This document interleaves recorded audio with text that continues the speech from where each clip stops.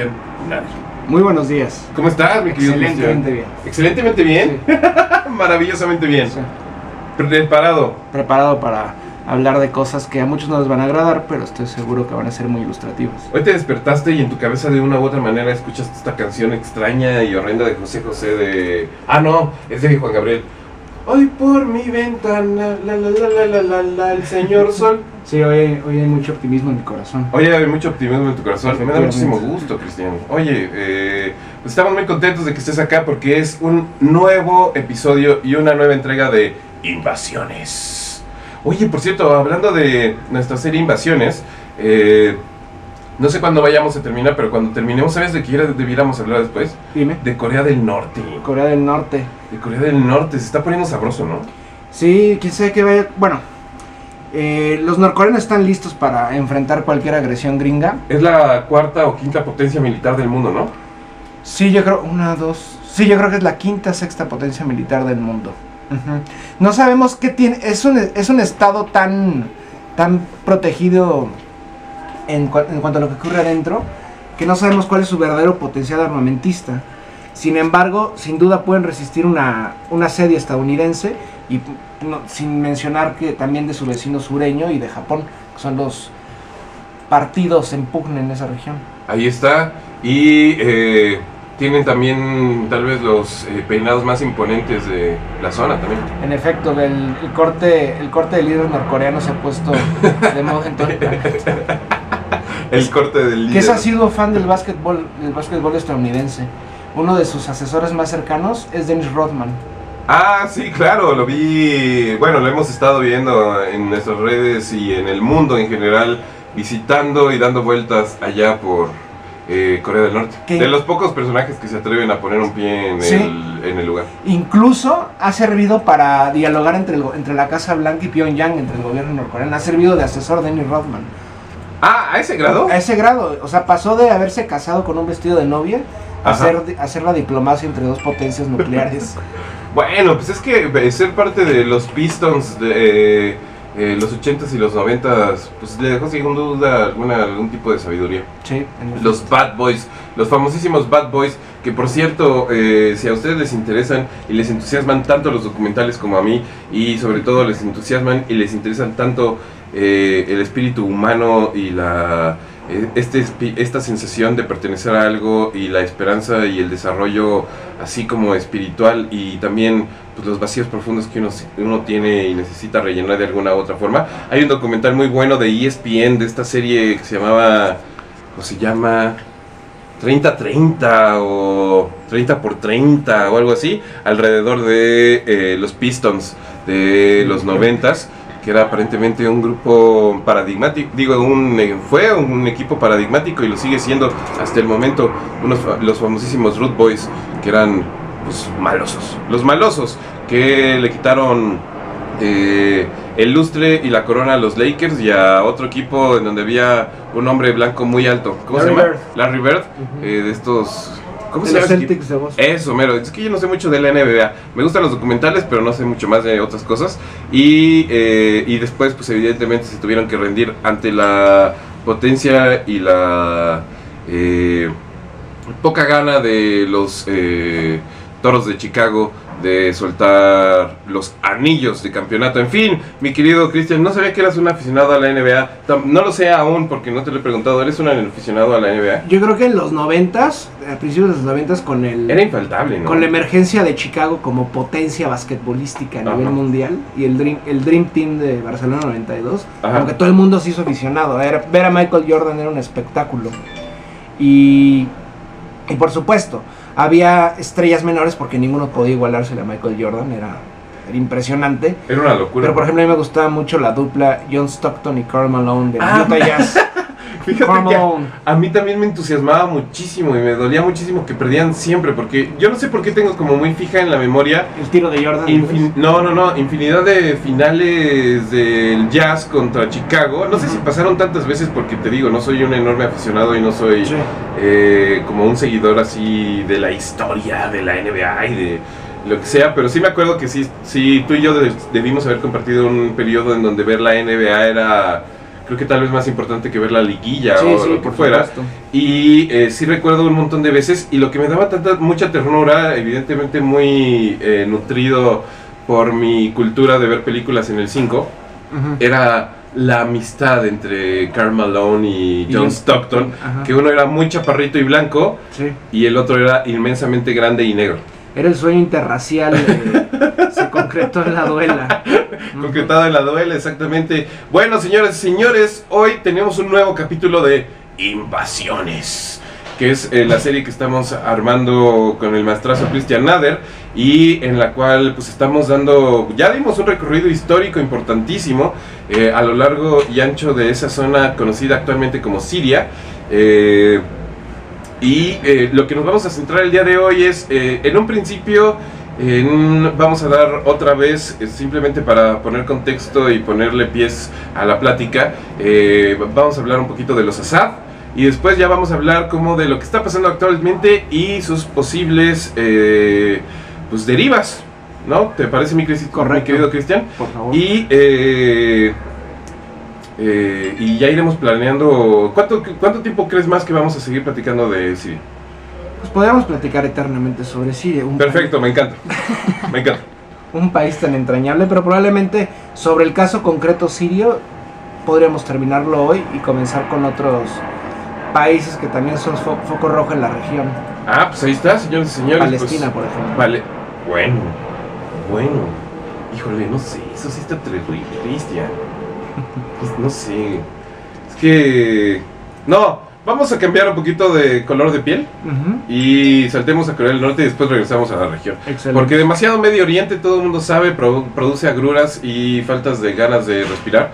Entonces hay que darnos, hay que darnos una, un momento de, de descanso hasta cierto punto, entre Sí. comillas, porque la historia de Corea del Norte no es bajo ninguna circunstancia eh, un eh, páramo y un paño de, eh, de rosas. Pero, eh, pero sí podríamos descansar un poquito de lo que conocemos como Medio Oriente. En fin, Cristian, en dos minutos eh, más o menos dime eh, de qué vamos a hablar, más allá de lo que ya dije yo, eh, dime más o menos de qué vamos a hablar y por qué la gente tendría que quedarse a escuchar. En dos minutos.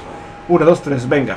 Después de una guerra a través de mercenarios que ha durado cinco años, estos están a punto, de, ser derrotados tanto en Siria e Irak por el ejército árabe sirio, por el gobierno iraquí por sus aliados, que son la República Islámica de Irán, Rusia y Hezbollah.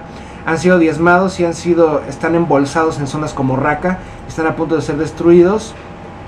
Sin embargo, ahora se viene un asedio por parte de, otro tipo de potencias. Esta vez Israel, que está extremadamente enojado porque sus mercenarios que, lo- que ellos han apoyado eh, no han dado los resultados que esperaban. Además de esto, debemos de tomar en cuenta que Rusia se ha acercado a los altos del Golán, una zona montañosa entre Palestina, Israel, el bueno, la Palestina ocupada y Siria, y ha depositado Rusia aproximadamente 4.000 soldados en una zona que Israel consideraba suya. Entonces, eh, esto le da un giro de 180 grados a las cosas, porque Israel ahí, por ahí introducía a los mercenarios. Entonces, va a tener que decidir el gobierno de Tel Aviv, el gobierno sionista de Tel Aviv, qué hacer con un país como Rusia, que es una potencia armamentista que los supera a ellos, sin embargo, que no se tiene tan mala relación. Ahí está, señoras y señores. Oye, lo, lo hiciste perfectamente bien, Cristian. No me lo esperaba. Eh, en fin, vámonos con música. Regresamos ahora sí a entrarle directamente a nuestra serie Invasiones. Aquí. Ah, por cierto, no te dije, Cristian. Dígame. De- a partir de nuestra plática pasada, empecé a ver otra vez yo, Claudio. Estoy muy enamorado ¿De qué personaje? de todos, ¿Todos? de todos y ante todo de la BBC. Siempre lo logran, siempre lo han hecho bien. Me da muchísimo coraje. Como esa cosa que te da con el guapo de tu grupo de secundaria. Así como de, "Ah, tú vas a fallar algún día. Y no pasa. Me cagan. Pero en fin, eh, si lo pueden ver, lo vamos a publicar yo creo que en FM porque vale muchísimo la pena.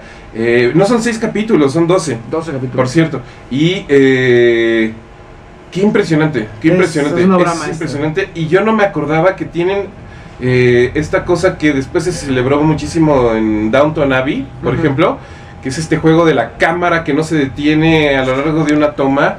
eh, durante minutos y minutos y minutos y minutos y me parecía muy impresionante, es como una obra de teatro ahí en la, al alcance de tu pantalla. En fin, señores y señores, vámonos con Matilde Band, su nueva canción se llama Child Love. Eh, no está tan buena, verdad, pero, pero ojalá que tengan mejores sencillos en su nuevo disco. Esto es 9FM, todo menos miedo.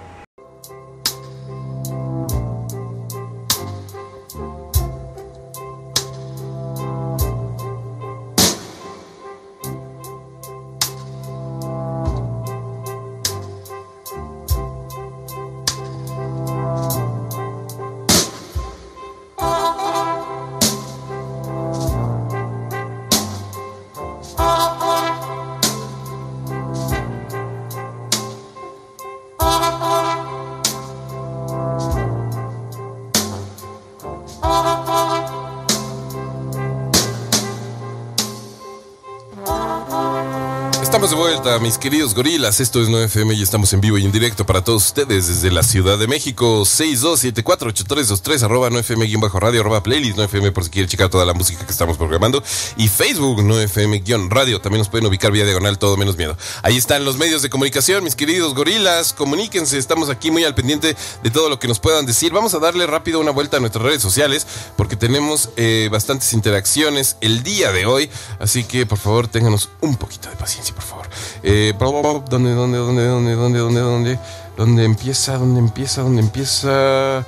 Creo que aquí. Diablos Saiyajin. Hoy tristemente no podré escuchar invasiones porque Godín, algún gorila caritativo que vaya resumiendo vía tweets. Pues el maestro Nader usualmente está sacando tweets a lo largo del programa y eh, lo, que es muy chido es que el programa entero pueden encontrarlo en YouTube eh, más o menos mañana o pasado mañana, o esa ha sido la eh, tradición.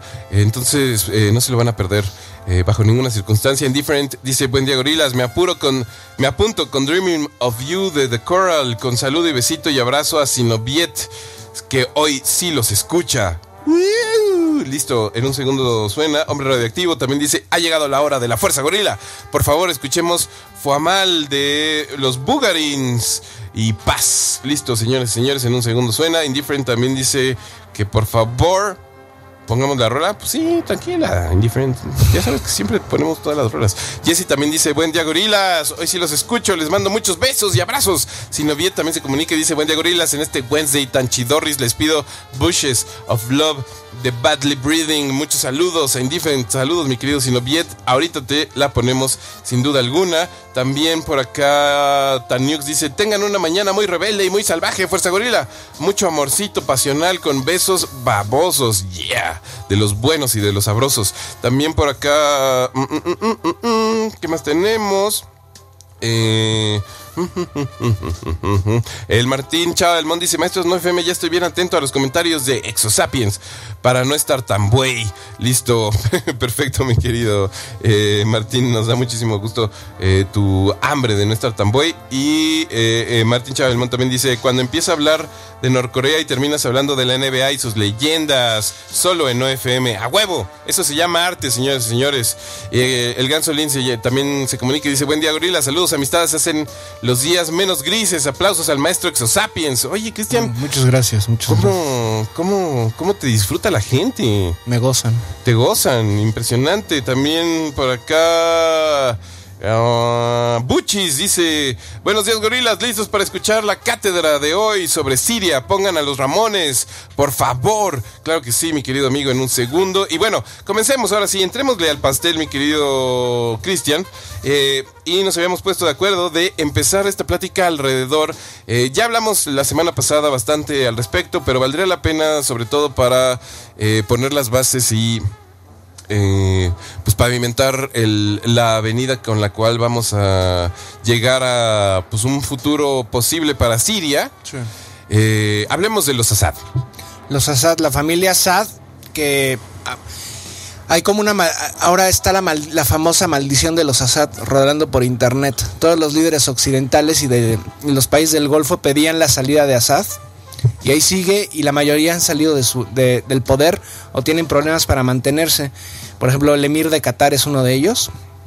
Pero los Assad, como ya lo, ya lo mencionamos en los programas anteriores, pues Bashar al-Assad hereda el poder del partido gobernante, el, partido Bad, y al mismo tiempo es el presidente y una figura muy poderosa en el, en el, en, el país sirio. Por supuesto, como ya lo dijimos, Bashar al-Assad es agüita. Y eh, increíblemente lo que creían los, Estados Unidos y las potencias afines que tras la guerra, tras esta llamada revuelta árabe, la reputación de Bashar al-Assad iba a bajar. Sin embargo, debido al salvajismo precisamente de los grupos invasores, la reputación de este personaje subió. Eh, en las últimas elecciones, eh, las cuales por cierto fueron, fueron coordinadas y vistas por observadores internacionales de las Naciones Unidas, por ejemplo, ganó con un 75% aproximadamente. Entonces, el Bashar al-Assad es una figura que se mantiene imponente en el escenario sirio y aún más cuando recibe la, asistencia de potencias eh, afines al gobierno sirio, entre ellas la República Islámica de Irán, por supuesto. Y también cabe destacar que gran parte de los votantes de la familia Assad, tanto de Hafez, que ya falleció, como de Bashar, son suníes y como ya lo mencionamos, Bashar es chi, o bueno, hay quien calcula que el alawismo no puede ser considerado chiismo, pero en fin, eh, no son de, la, son de la ortodoxia los votantes, ¿no? Entonces sorprende que tenga este poder, este poder electoral tan fuerte, en parte se debe también porque... Como ya lo mencionamos, no solo Bashar al-Assad, Siria siempre se ha caracterizado por ser un país en el que, entre comillas, viven en cierta comunidad todas las, las facciones religiosas y, étnicas, ¿no? Entonces, cuando llegan estos mercenarios, en su mayoría procedentes de otras latitudes, rompen esta, digamos, esta historia de cordialidad, entre comillas, tampoco es una utopía, como ya lo hemos mencionado. Entonces, justamente esto potencializa eh, la popularidad de los Assad. Sin embargo, hay grupos que se mantienen antagónicos al gobierno de Bashar al-Assad. Entre ellos, por, supuesto, ciertos grupos kurdos del norte de Siria y otros tantos al sur de Siria que son precisamente patrocinados y seducidos por el Estado colonial de Israel a través de, a través de sus mercenarios. Pues ahí está. Eh, pero esto tiene una base muy clara, que es el eh, ¿Cómo crees que se llevaban tú, Assad padre y Assad hijo? Él no iba a ser el heredero. iba, a ser. hay, una historia súper compleja. Hay una historia muy rara. Eh, no, se sabe bien exactamente qué pasó, pero iba a ser el hermano mayor de Bashar al-Assad, que ya había estado mucho más inserto en la milicia siria. Sin embargo, en último momento, quien, quien toma el cargo es Bashar. Probablemente haya habido un pleito familiar, no lo dudamos. Y además debemos de tomar en cuenta que el clan Assad no solamente se reduce a la familia nuclear que está en el poder, está mucho más extendido en otras zonas, tanto en la zona costera, por ejemplo en Homs, en Latakia y en otras ciudades, como en Damasco. Entonces sí, yo creo que hubo una lucha de poder interna dentro del clan Assad, sin embargo quien salió fue Bashar y hasta la fecha ha logrado hacer las cosas bastante bien. Tú es, es un... Así... Ya, que se nos quite el miedo. Aparte, a ti no te, eh, nunca te ha molestado encabronar a todo el mundo. ¿Cuál es tu sentimiento profundo alrededor de los Assad? Mi sentimiento profundo, por supuesto, si yo, me, yo generalmente me identifico como, como marxista-leninista. Por supuesto, en Siria no, no, se puede hablar de marxismo ni de leninismo. Hay un capitalismo de Estado ejercido por la familia Assad a través, entre comillas, del socialismo árabe, que está un poco distanciado de las socialdemocracias tradicionales, pero sigue siendo dentro del espectro burgués de la, de la política. Hay otros partidos, el Partido Comunista Sirio entre ellos, el cual fue diezmado durante la confrontación con, el, con Jafes, con Jafes, con Jafes al-Assad, y fue acallado durante años. En los últimos años volvió, volvió a emerger muy mancomunado con el Partido Comunista Libanés, sin embargo, eh, había, había, posiciones encontradas. Una de ellas era, ¿vamos a apoyar al gobierno o nos vamos a, vincular a, las facciones, digamos, rebeldes sirias? Eh, en un principio justamente se vincularon con estos grupos, sin embargo con el paso del tiempo, a partir de yo creo que un año más o menos, se descubre lo que son realmente estas rebeliones árabes, estas primaveras, y muchos prefieren estar en el anonimato y otros tanto se vinculan al gobierno de Al-Assad. Entre ellos un arqueólogo, no recuerdo el nombre, es un personaje muy importante del Partido Comunista Libanés, que no estaba tradicionalmente vinculado a la familia Assad. Sin embargo, debido a la barbarie que estos grupos pregonan, se vincula al gobierno de Al-Assad, es capturado y es decapitado.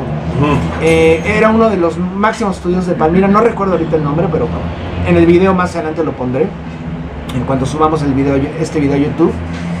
Entonces, creo, no soy tan apegado a lo que hace Al-Assad, no soy tan, tan partidario. Sin embargo, creo que en este momento lo que hay que hacer es defender a Siria. Creo que es el, es, el la, lo primordial. Y veremos si se puede dar justamente una apertura. Es que yo no, yo no tampoco pienso una apertura democrática, porque hemos visto las consecuencias de esto en el estilo burgués.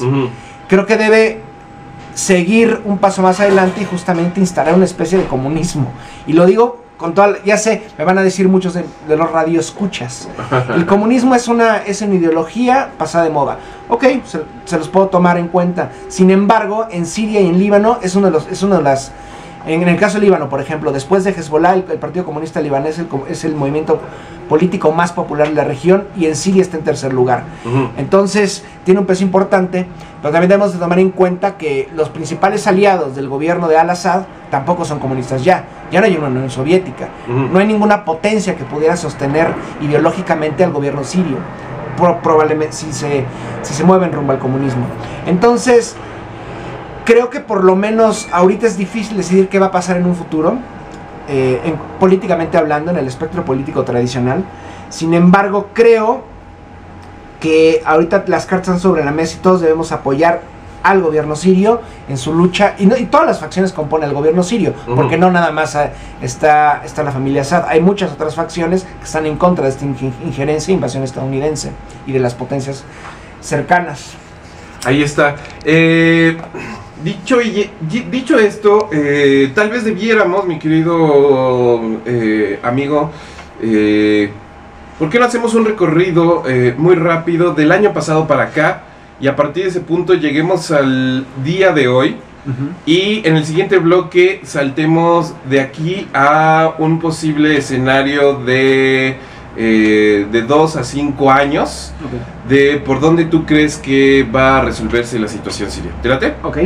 Entonces, si quieres, eh, de un año para acá, porque sabemos que el conflicto sirio ha estado y... Y eh, ya llevamos 6 años alrededor de noticias constantes y demás, pero por ejemplo, de un año para acá, ¿cuáles serían los eventos más claros y más que han diseñado más claramente lo que está pasando en el territorio sirio y sobre todo los que han eh, los que van a diseñar muy claramente lo que va a pasar en Siria y en toda la región en un futuro cercano. Por supuesto, el evento más emblemático sin duda fue la intervención rusa en Siria. La intervención rusa. ¿De dónde viene eso? Mucha gente dice, ¡Hey! ¡Qué bueno! El mundo ha recobrado sabor tendremos más películas de Rambo nuevas.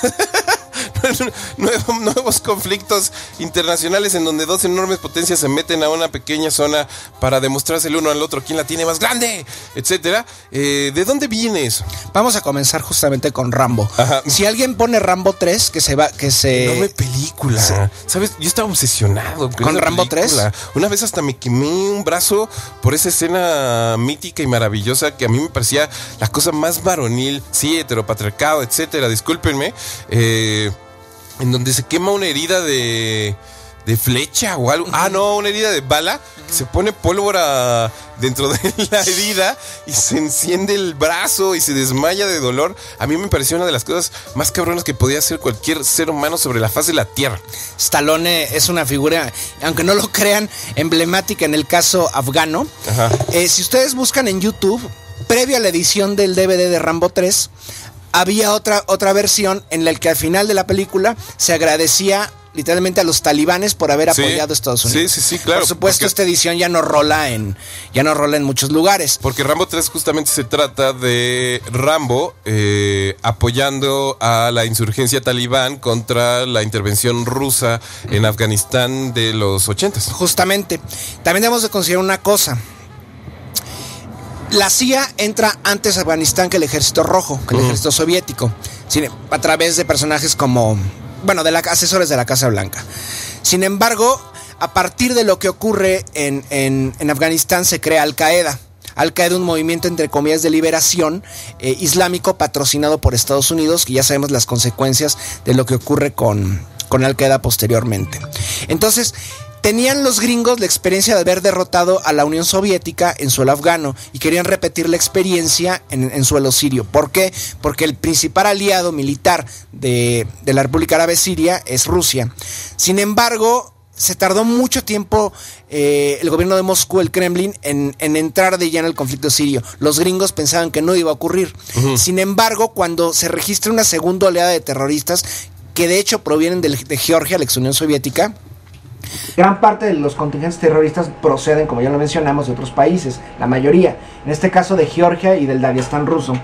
Decide Rusia intervenir porque afecta tanto a su seguridad interna por posibles brotes separatistas como a la estabilidad de Siria, que es uno de los principales aliados de la región. Y por supuesto, la única base siria en aguas cálidas, perdón, base rusa en aguas cálidas está en Siria.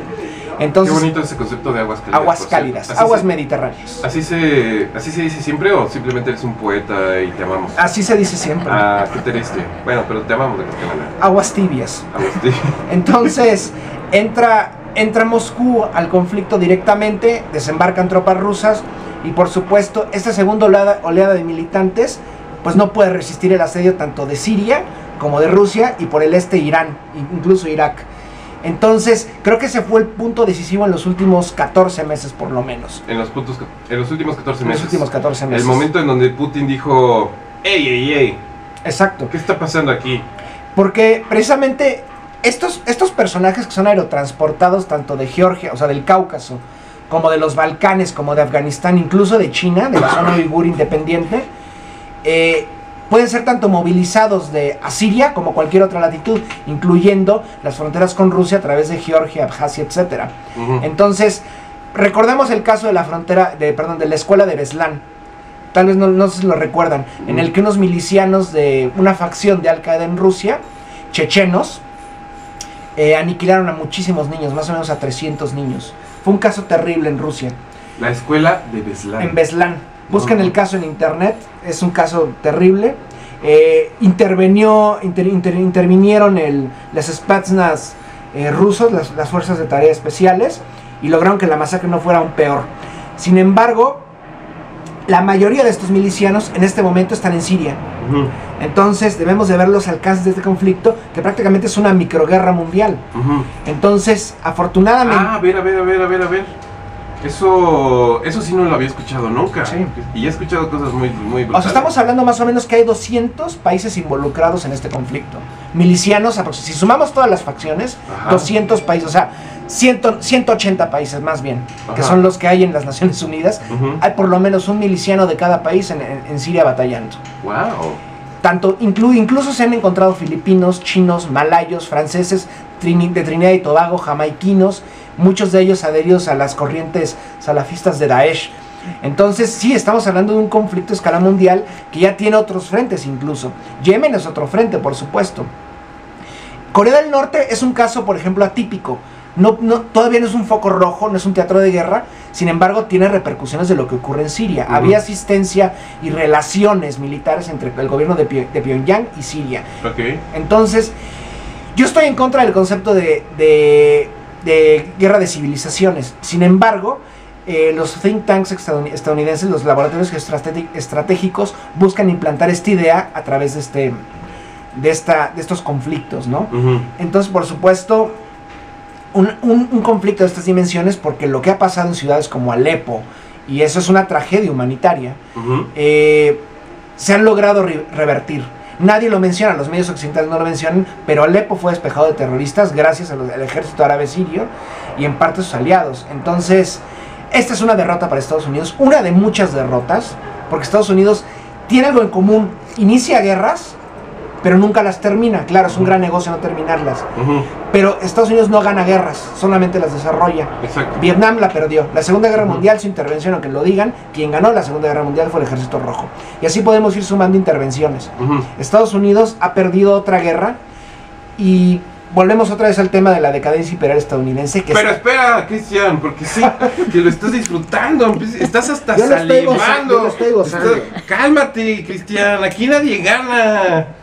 Cálmate, estamos... Pero ahorita, ahorita te suelto la rienda con muchísimo gusto en el siguiente bloque.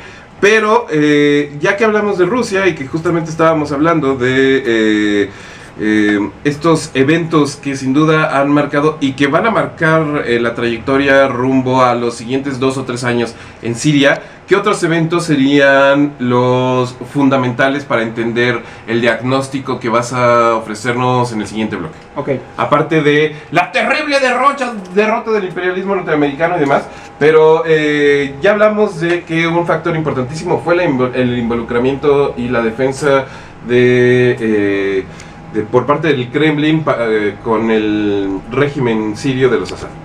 Pero ¿qué otros dos o tres elementos? Oh, échate uno, échate uno. Ok. ¿no? Eh, ¿Qué otro elemento será importantísimo para entender el diagnóstico que nos vas a dar en el siguiente bloque?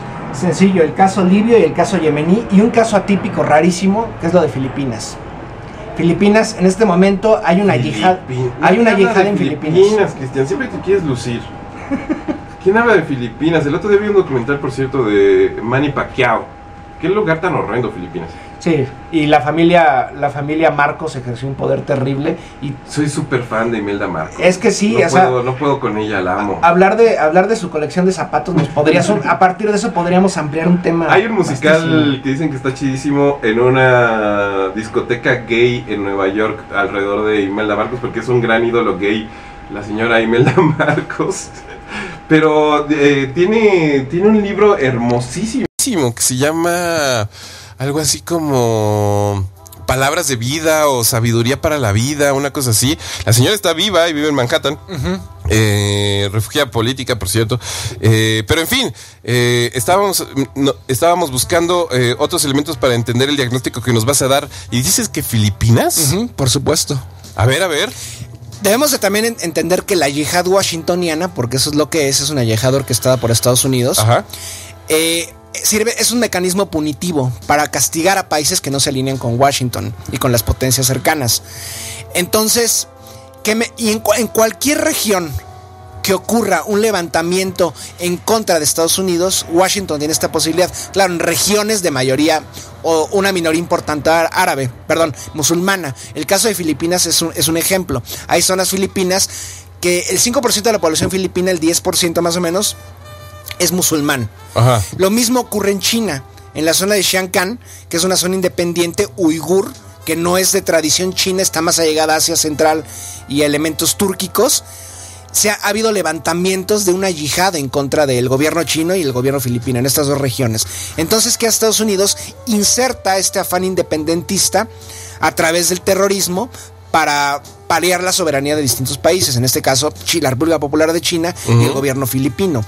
Tenemos el caso de Duterte, además que se empieza a vincular poco a poco al Kremlin. Sin embargo, ocurre este hecho, entonces lo- se la pone mucho más difícil, ¿no? Ajá. Y bueno, ese es, ese es el modelo que se puede replicar a partir de, a partir de la experiencia siria, el, el modelo injerencista a través de mercenarios. Sin embargo, en Siria está el modelo militar tradicional, la invasión armada tradicional.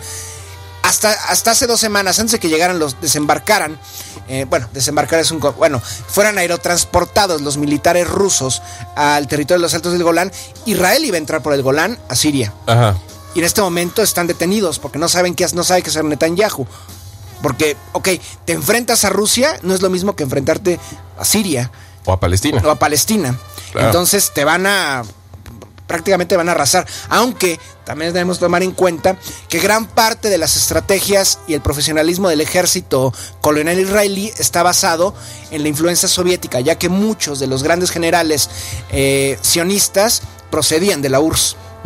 Entonces, hay que tener en cuenta que las estrategias pueden ser similares. Sin embargo, el potencial de el potencial ruso es mucho más por encima de Israel que pero debemos tomar en cuenta también otra cosa.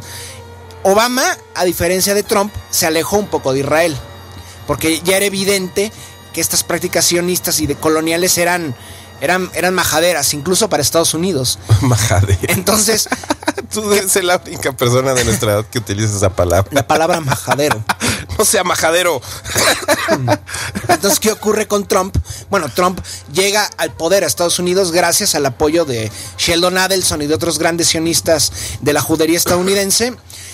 Y pues tiene tiene que responder ese sionismo estadounidense que lo colocó en el poder. Entonces está totalmente apoyando a la junta, a la junta militar teocrática de Tel Aviv para, aparte de, de expandir los asentamientos ilegales, eh, colonizar Siria, que Israel, el gran Israel, se extienda. Ahí está, el gran Israel. En fin, ay, ay, ay, ay, ay, ay. ¿Qué pasa? ¿Qué ocurre? no, sé, se nos metió ahí como una transmisión extrañísima. Es, eh, ya, ya, ya sabes las inmensas capacidades que tiene la Mossad para, para alterar el orden mundial, eh, mi querido Nader. Pero, en fin, dejémoslo aquí, ¿te parece? Escuchemos música, porque son muchas cosas que digerir. Ya hablamos de los Assad ya dijimos que dos elementos importantísimos para entender tu diagnóstico del siguiente bloque van a ser la participación muy activa y muy, eh, muy vehemente del gobierno ruso en frente a la ocupación o el intento de ocupación en Siria y también el, la participación internacional completa eh, utilizaste ya este concepto eh, aventurado pero muy bonito de esta mini guerra mundial. Guerra mundial bebé. baby. Guerra mundial baby. Y eh, también la participación muy clara de eh, Israel, de Filipinas, de China y demás. ¿no? Es que es un es que es un desmadre. Es un popurrí. Es, un, popurrí. de esos horrendos que están en las salas de tus tías y que huelen a flores muertas toda la casa. Pero vámonos con música, señoras y señores, porque lo que sigue en el siguiente bloque vamos a justamente, oh, vamos a, me lo, lo digo, lo digo en plural para sentirme importante, pero el señor Nader va a dar un diagnóstico. Eh... Sí lo sabes, pero lo conoces, conoces la región y he visto te he estado licando y te ubicas bastante bien. Ah, Tienes el don. Nada, me vas a hacer yo. Tienes el poder. Gracias. Gracias. La virtud. Tengo la virtud. Estaría increíble que hubiera habido como una caricatura de Hanna Barbera de los ochentas en donde los superpoderes hubieran sido ese tipo de conceptos, así como eh, niños de regiones del mundo y ahora sí incluyendo Oceanía, eh, pero que sus, superpoderes no fueran tierra, fuego, mar y agua, sino virtud civismo, sosiego, sosiego, templanza. En fin, regresamos con el diagnóstico de lo que podría ser un escenario factible para la eh, región, que pues es una región pues que la, pregunta clara es, ¿puede haber paz en lo que entendemos por Medio Oriente? Por supuesto, la ha habido durante miles de años. Volverá, volver a haber paz en el Medio Oriente. Eres un hablador, ni, ver. ¿Tú crees volver a haber paz? No sé. Dejémoslo en suspenso porque ya te vas a soltar alrededor de la caída del imperialismo norteamericano. Vámonos con música, señoras y señores. Los señores de Espejo Convexo, una de las bandas que más nos gustan de la actualidad en este país, estrenaron ya su disco. Escúchenlo, por favor. Y toda la música que estamos escuchando el día de hoy en su, en su No FM de confianza son puros estrenos de nuestra sección ya afamada de llamada Topless que son nuestras recomendaciones semanales de música y esto se llama Relación, Espejo Convexo, no FM, todo menos miedo. Facebook, FM Radio. También nos pueden ubicar vía diagonal todo menos miedo. Estamos con el señor Cristian Nader en vivo y en directo. También en Twitter lo pueden ubicar como arroba exosapiens. Ahí está. Y estamos hablando de Siria en nuestra serie Invasiones. Eh, y bueno, ya pusimos cierto contexto. Ya pusimos eh, ciertos elementos importantes para entender lo que sigue. Y estábamos hablando fuera del aire que una de las cosas importantes también de entender eh, el, pues en dónde está parada la región, es entender a Qatar.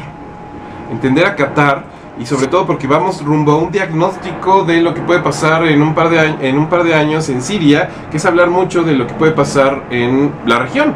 Correcto. Tal cual. Entonces, Cristian, Qatar, ¿qué es eso? Llevaron vacas. Ahorita que dijiste vamos rumbo a, pensé que ibas a decir al Mundial de Qatar 2022. vamos. Ah, yo creo que eso, se, va, se va a cancelar. Además de que hay que recordar que los estadios del, del futuro Mundial de Qatar fueron construidos con mano de obra esclava.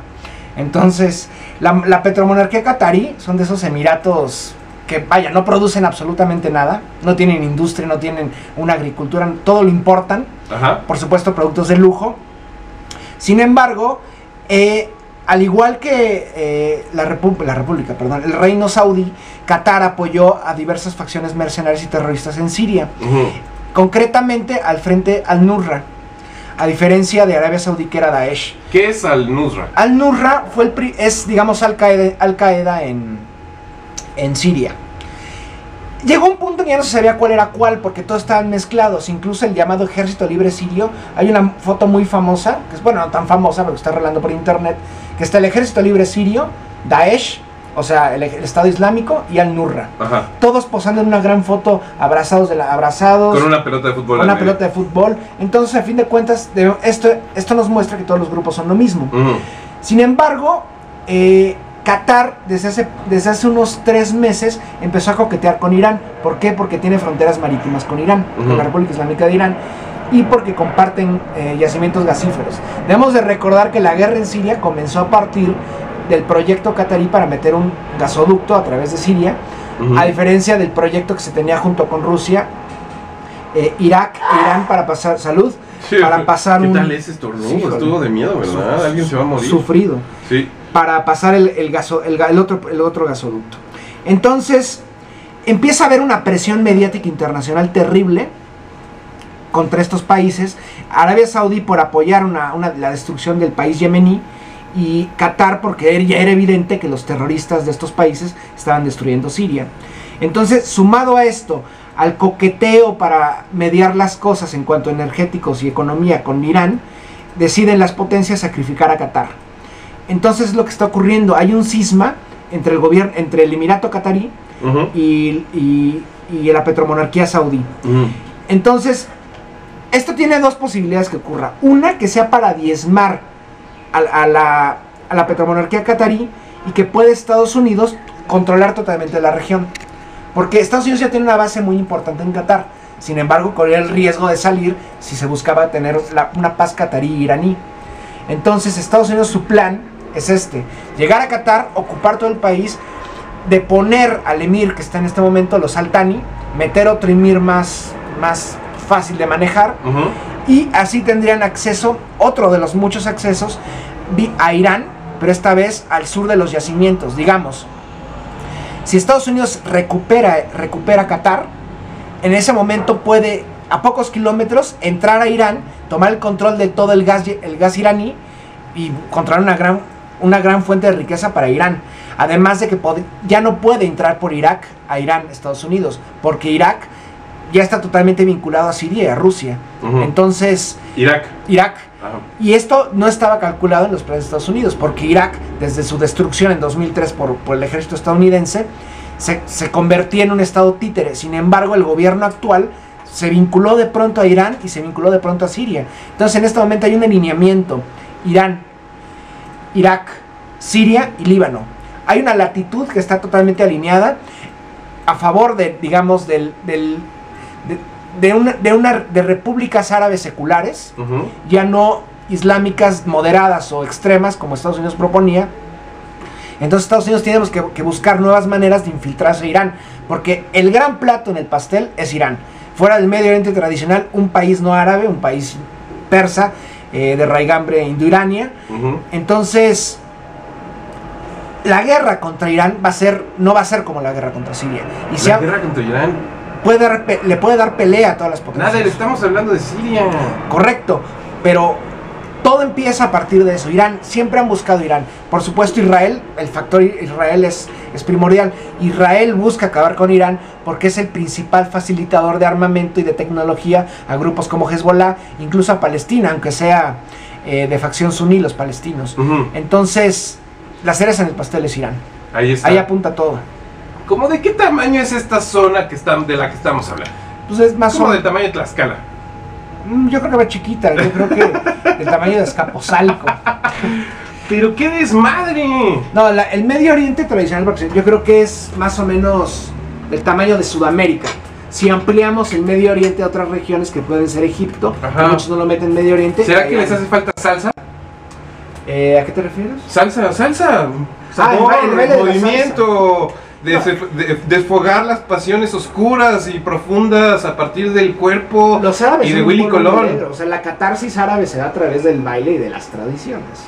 Sin embargo, Pero no, estamos hablando de salsa. Salsa. La salsa. Este ritmo salvaje, mi querido Bueno, Cristian. si hay salsa en Japón y es una potencia musical, la salsa japonesa, No, probablemente no, no, no digas No, tonterías. no.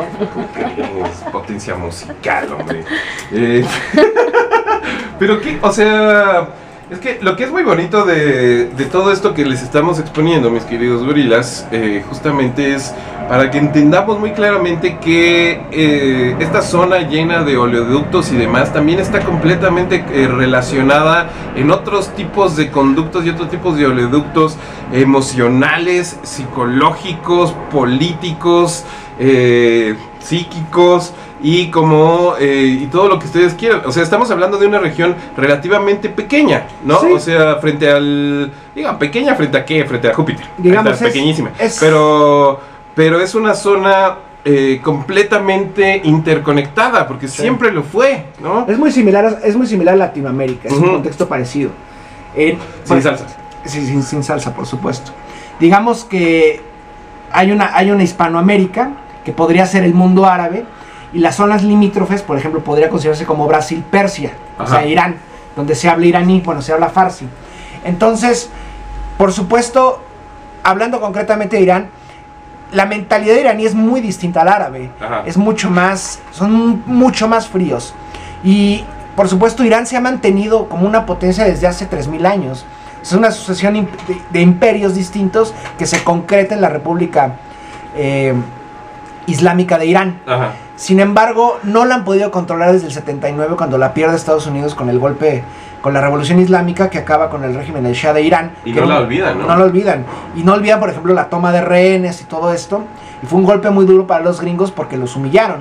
Ajá. Y los sacaron literalmente con los ojos vendados de la embajada. Entonces, eh, y por supuesto, Israel lo que busca es asegurar toda la región. Y no lo han logrado hacer.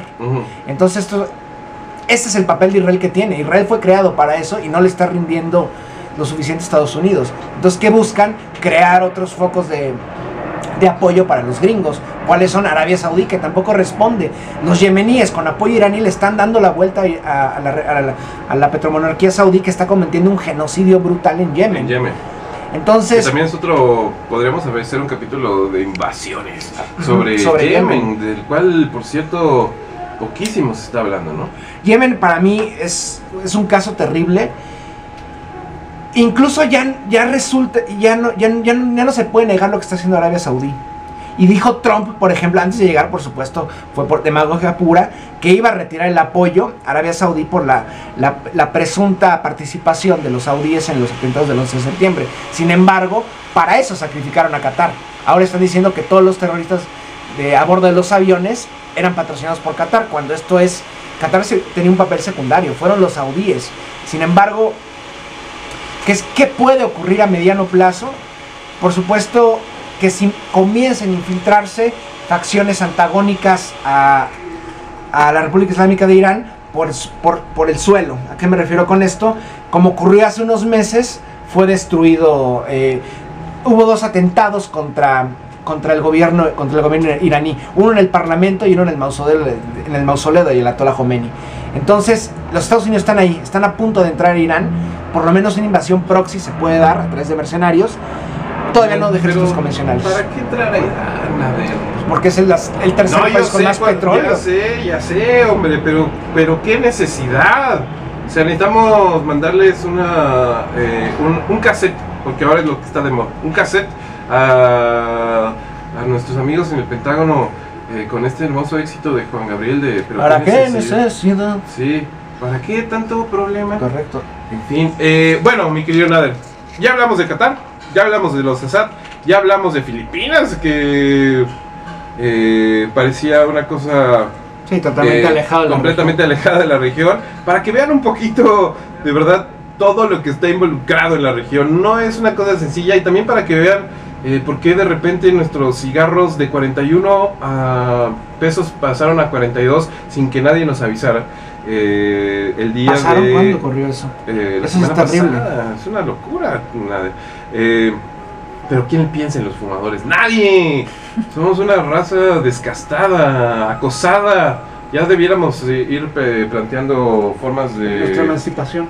eh, formas de resistencia, mi querido Nader. Pero en fin, eh, ahora sí entremos a lo que habíamos prometido en el bloque pasado. Un diagnóstico y una perspectiva para Siria, que es también hablar una perspectiva y un diagnóstico para la región.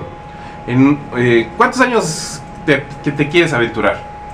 Vamos a. Primero 5 y luego 10. Vamos a medir el largo. Anda, torero, ole, ole. Eh, ¿Cinco años? 5 años. Esto se está grabando. Hagan sus apuestas respecto a Medio Oriente.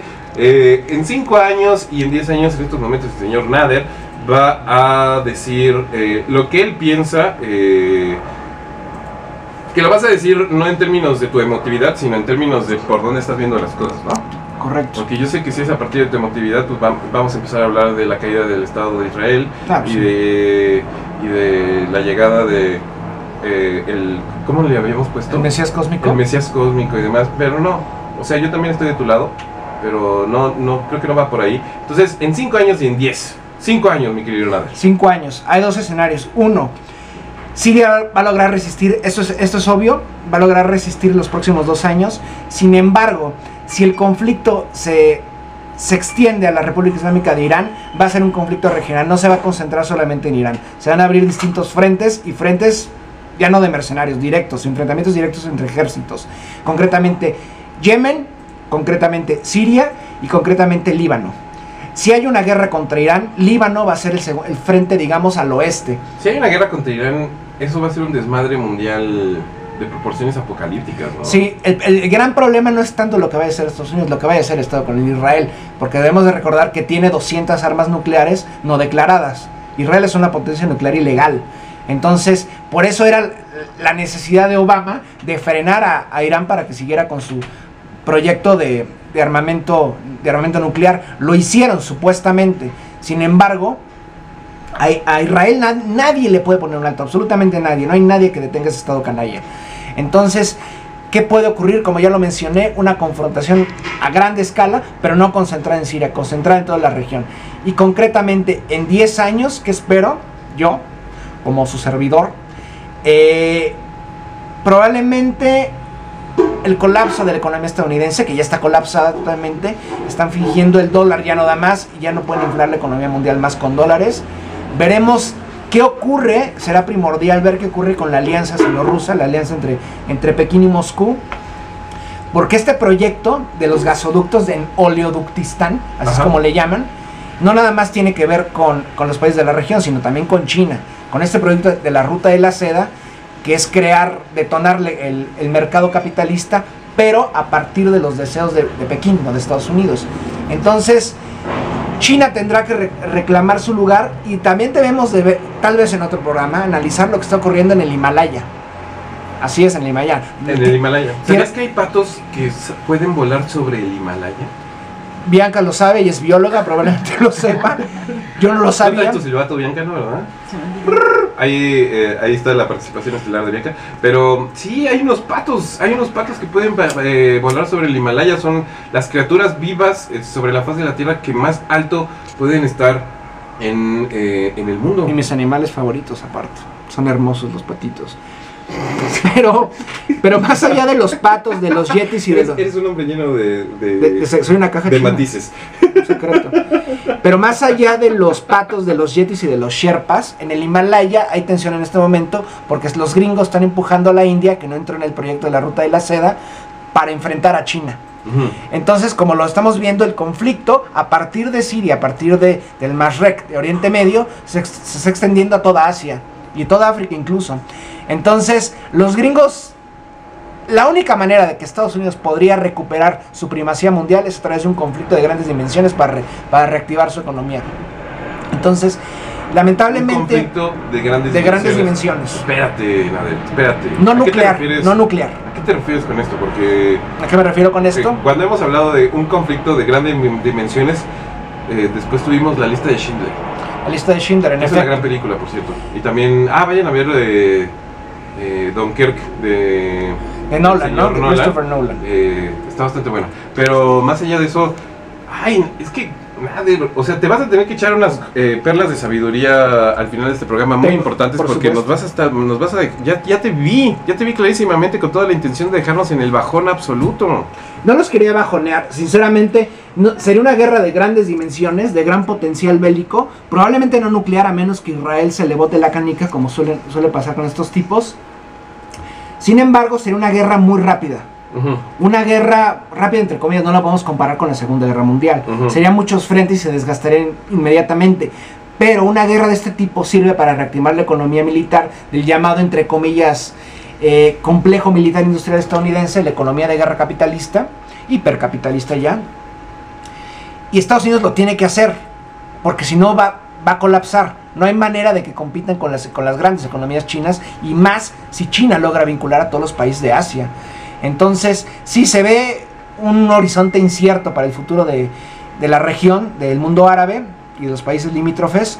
Sin embargo, creo que, a diferencia de otros momentos, creo que no sería una victoria para Estados Unidos. Creo que no pueden competir con China ni con Rusia, a menos que sea una ofensiva nuclear que nadie desea, porque nadie desea que se acabe el mundo, porque incluso la el mismo mercado capitalista se acabaría, no tendría sentido. Entonces tendría que ser una guerra de desgaste para acabar países. A ver, espérame, espérame, espérame, eh, Cristian. ¿Esto es en 5 años? A 10 años. Ah, ah, 10 A años. 10 años. Ah, 10 años. Ah, ok, ok, ok, lo estás, los, los estás mezclando. Sí, primero 5 años, la, la ofensiva se extiende, se extiende a distintos frentes. Ah, ok. Eso de- sería, en 5 años tú pronosticas una, eh, que se extiende la ofensiva, que haya conflictos directos con Irán. O sea, no, no los conflictos de todos los días en términos eh, eh, Homeland Security, Sí, no. ni espionaje, Y creo ni que no cosas, sería sino como- ya un conflicto real, directo, Irán tet a tet contra... eh, Tal vez no contra Estados Unidos en un primer momento, pero sí contra Arabia Saudí. ujú, contra Arabia Saudí. Porque Arabia Saudí en, En los próximos- cinco años. Sí, en los, Ok. en los próximos días va a decapitar a 14 chiíes. Lo va a hacer en las calles a 14 jovencitos chiíes de no, de no más de 20 años. ¿Quién? Eh, La, eh, Arabia Saudí, el gobierno de Riyadh. De esto nadie lo dice. Ajá. Mientras los diarios demonizan a Venezuela, ajá. eh, nadie habla de lo que está a punto de hacer Arabia Saudí, que ya serían creo, que 80 o 40 personas que han decapitado. Ajá. por cargos políticos, ninguna acción terrorista en absolutamente nada.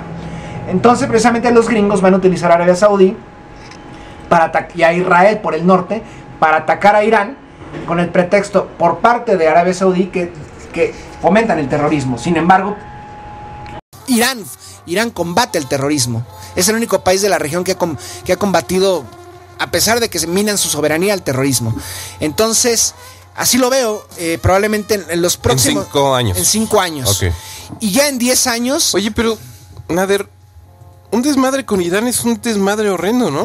Sí, y- porque los iraníes, a diferencia de los árabes, como ya lo mencionamos hace rato, es una potencia ancestral y que no ha bajado la guardia. Sigue siendo una potencia. Incluso tuvo un rol protagónico en el siglo XIX con el gran juego entre los rusos, el imperio zarista ruso y el imperio británico. A Irán no pudieron diezmarlo. Les dio pelea a los dos imperios. Entonces, sigue siendo una potencia y es una potencia tecnológica muy importante en la región. O sea, su armamento no es como en Siria que tenían eh, armamento soviético de hace 30 años. Tienen arma- armamento de élite. Del set de Rambo. Sí, por supuesto. Tiene armamento de élite que podría. Si lanzan un misil no nuclear incluso desde Teherán o Shiraz o alguna población eh, en, En Irán, Irán. podría impactar directamente a Tel Aviv. Por supuesto no lo hacen porque la respuesta Ay, israelí sería con armas nucleares. Qué mal viaje, oye. Sí, es un mal viaje, Qué mal absolutamente. viaje. O sea, yo sé que tú quieres ver ese cohete salir. No lo quiero ver Sé sal- honesto, sé honesto, Nader. Yo sé, yo sé, y está bien, ni modo. Eres una persona llena de matices. Te gustan los patos y tampoco te, pero no te gusta el Estado de Israel. Así funcionan las cosas. Yo no te juzgo, yo te amo, yo te amo como eres. Pero, pero sería un súper desmadre. Sí, sería un súper desmadre. Tendríamos todos que cerrar nuestro Facebook para evitarnos las imágenes horribles a las cuales nos expondrían diario. O sea, tampoco se preocupen tanto, no, no tienen que construir un búnker, a menos que la ofensiva se extienda a... a- ¿Quién eres tú para a Centro y asegurar eso? Sudamérica. Bueno, si tienen un búnker, no olviden tener una computadora para poder sintonizar buenos un día gorilas. Estaría increíble. Bueno, estamos aquí, tercer día dentro de nuestro búnker. Ya nos creció, ya estamos, esta- estamos un poquito preocupados. Todos bien allá afuera. Eh, Pero híjole, Nader. Eso es a cinco años. Es a cinco años. Y a 10 años eh, ya nos estabas dando muchas pinceladas. Sí, o sea, el conflicto podría recrudecerse, por supuesto. Simplemente no sabemos cuál, cuál va a ser la, la, rea- la reacción de las futuras administraciones estadounidenses. Yo no auguro que Trump se quede otros, otro, otros cuatro años. Mm. Sin embargo, todo puede ocurrir en el gobierno estadounidense. Trump no llegó, como ya lo mencionó, llegó por una intervención rusa. Trump fue, colo- fue colocado ahí, precisamente, para desatar este tipo de cosas. Algo que Obama no podía hacer, porque un Nobel de la Paz no podía hacer esto. Aunque un Nobel de la Paz que tiene cinco genocidios en su historial. Entonces, Sí, que eso va muy a colación a un comentario que acabamos de recibir en redes del señor Compa Eats. Dice, los gringos son el puto amo del universo. No sabríamos, ¿eh? Ahí es que esa es la discusión justamente. nos A- han acostumbrado a, que a, a creerlo, pero, creerlo, pero no, estamos son. ahí ya. eh, y dice después, hacen guerras a lo pendejo. China, India, Qatar, Saudí, Arabia, el anticristo, mi amado Trump. No.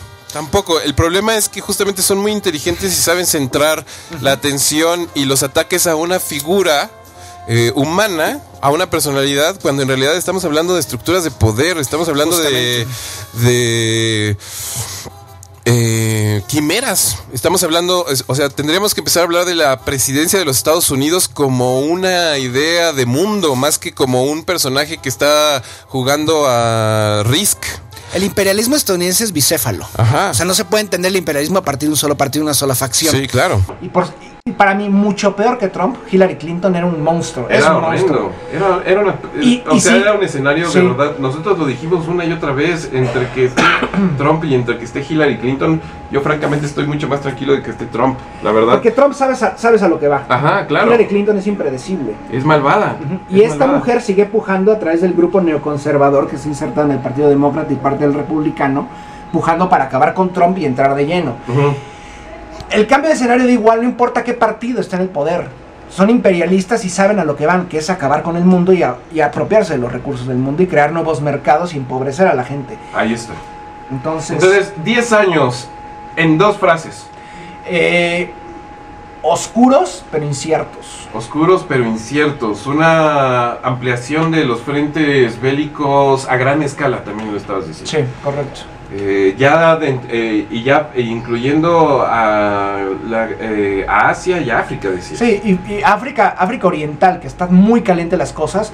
En, en ese país que ya mencionamos, Djibouti, ya hay una base china Perdón. y a poco no te preocupes y a pocos y a pocos kilómetros una base gringa.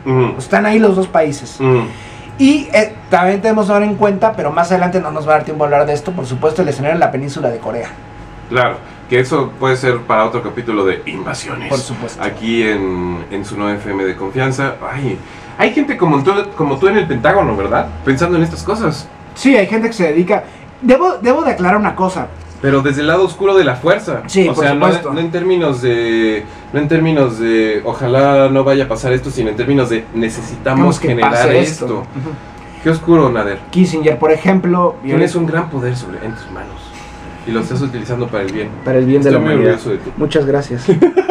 Vámonos con música, señoras y señores. Regresamos a nuestras conclusiones rapidísimas y a nuestra ya afamadísima sección Perlas de Sabiduría. Hola, mis queridos gorilas, esto es 9FM, estamos en vivo y en directo para todos ustedes desde la Ciudad de México. Tenemos varias participaciones en nuestras redes. David Rangel dice, muy bueno el programa con la participación de Exosapiens. Solo no me gusta la, pro- la música que programan, pero todo bien, siguen así. Hay que escuchar de todo, maestro, cálmate. Ay, va, la próxima vez escuchamos solo Ornette Coleman porque se me da la gana. Eh, Julio Molina dice, eh, ¿en una democracia burguesa? ¿A qué se refiere? Dice, tú, tú tuiteaste algo que decía, el Partido Comunista Sirio es la tercera fuerza política, el comunismo puede ser una opción real. Esto es buen día, gorilas. Y después alguien dice, señor gobernador, dice, en Rusia la segunda. Julio Molina responde, ¿en una democracia burguesa? Sí, está el Partido Comunista inserto en la democracia burguesa. En muchos países es así. Ah, ok, va. Pues ahí está la respuesta. ¿Qué más tenemos por aquí? Buchis nos recordó que quería escuchar a los Ramones, que acabamos de escuchar. Ya hablamos de lo de Compaeats. Baudilio Matute también dice: La participación de Exosapiens en Buen Día Gorilas es una cosa extraordinaria. Neta, neta, neta. Chingón, carnales. Chidísimo, mi querido amigo. Eh, Witzo Jiménez también dice: Saludos a todos en cabina. Un beso y un saludo.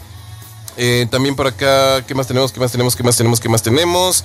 Eh, dejen de hablar, dejen hablar y extenderse a Cristian, apenas que estaba emocionado con lo de la eh, con lo de la SGM. Saludos a todos en cabina desde Parral, Chihuahua. Pues es que uno de los hermosos artes de la conversación es saberla guiar, mi querido maestro. y el maestro Exosapiens, pues sí, sí tiene mucho que decir, pero tenemos, tenemos que eh, pues conducirla un poquito, porque pues, si no, pues, estamos aquí durante tres semanas o más. Eh, Patiño dice, jajaja, ja, cortes el pelo y consiga un trabajo marihuanero impresentable. Exacto, esa es la actitud ganadora, muchacho, muchacho desconocido. Anónimo. Venezuela y el fraude también es una opción. Nos escribe por aquí Raúl. Por acá también nos decían que no entendían por qué hablar de Venezuela y comunismo. ¿Hablamos de Venezuela y comunismo? No, hoy. Hoy no, no no, no sé de dónde salió. Pero bueno, eh, Andrea Alemán también dice Walking on a Dream de Empire of the Sun. No veo sus opiniones del Tratado de Libre Comercio. ah, no, no, no, no, no, no. ¿Del Telcán? Eh, del Telcán. Eh, pues no, no, no, no, no vamos por ahí hoy. No. No, para nada. Estamos hablando de. Estamos a 10.000 kilómetros de eso. Ajá, estamos hablando de Siria en particular.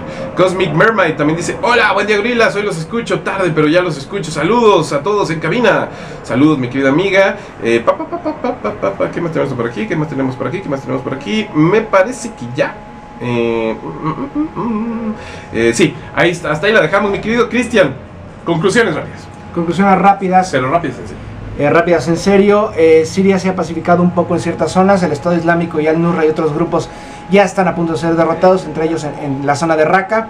Eh, se viene una ofensiva tradicional a través del ejército colonial Israel que en este momento está siendo contenido por tropas rusas en los altos del Golán. Sin embargo, el frente se trasladará a otras naciones, entre ellas Yemen, probablemente Qatar y los turcos también no debemos de infravalorarlos y saber que buscan extender el imperialismo neotomano en la región. Ahí está, señoras y señores. Y eh, pues ya nos estamos despidiendo, se nos acabó el programa, esta serie de eh, invasiones.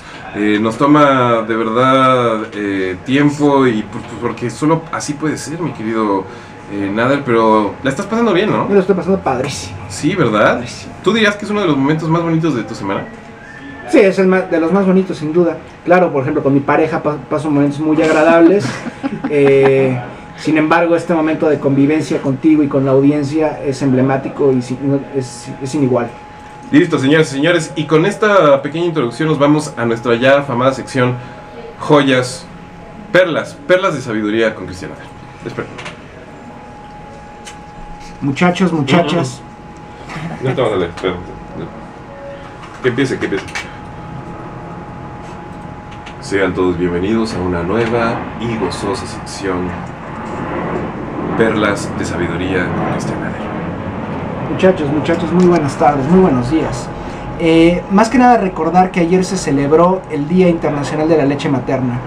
Creo que este alimento que ha sido, que es esencial para el crecimiento de un niño, de una niña, eh, ha perdido su valor y su importancia en parte por los grandes grandes y terribles productos que se venden como suplementos de la leche que producen las madres para sus hijos.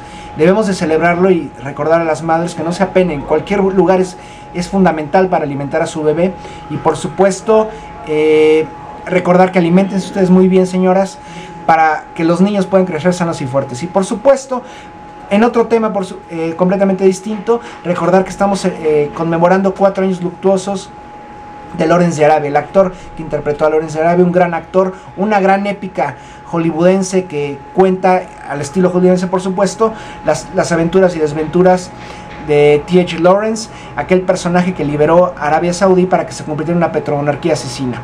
Entonces, por supuesto, recordarles que con el corazón adelante trabajen fuerte y duro y aquí está su servidor hablándoles sobre temas inhóspitos, temas desconocidos, pero para su beneplácito. Muchas gracias y nos vemos la próxima ocasión. Esto fue Joyas de Sabiduría con Cristian. Vamos ya a despedirnos. Estamos de vuelta, mis queridos gorilas. Eh, qué bellas perlas de sabiduría. No, no, acabamos de decidirnos en mi inconsciente si son joyas o perlas, pero poco a poco vamos a irle dando. Muchísimas gracias, Cristian. Muchísimas gracias a ti. Y eh, nos vemos la próxima semana. Por supuesto, aquí estaré. Buenísimo. Y eh, ¿Podemos dar por finalizada nuestra plática alrededor de cine? Bueno, no finalizada, pero podemos ponerla en puntos suspensivos. Claro que sí. Y eh, pues podemos hablar la próxima semana de Corea del Norte. Adelante. ¿Te gusta? Adelante. Yo sé que te gusta, la verdad. Me fascina. Nos despedimos, señoras y señores. Se quedan con su sal salvaje. No sé si han llegado. Eh, espero que sí. Eh, no nos han avisado si ya andan por acá, la verdad. Pero está a punto de comenzar Sal Salvajes, hasta donde lo tengo entendido. Y te agradezco muchísimo tu participación y tu cariño y tu amor. Gracias a ti y al auditorio tan, tan cariñoso que, me hacen críticas tan asertivas como que soy marihuano. Ajá, y que te cortes el pelo. ¡Córtese las patillas, hippie! Como diría por ahí en un capítulo épico el señor de Burns. Y también aquí David Rangel eh, acota, jajaja, ja, ja, ¿qué tal si ponen música árabe para que cuadre con el tema? Saludos. Ah, ¿sí? Pues justamente con eso vamos a terminar, Ángel. Para que te quedes contento y no estés machacando nuestras rolitas que te propusimos este día, que pues, nos gustan. Te pongas así,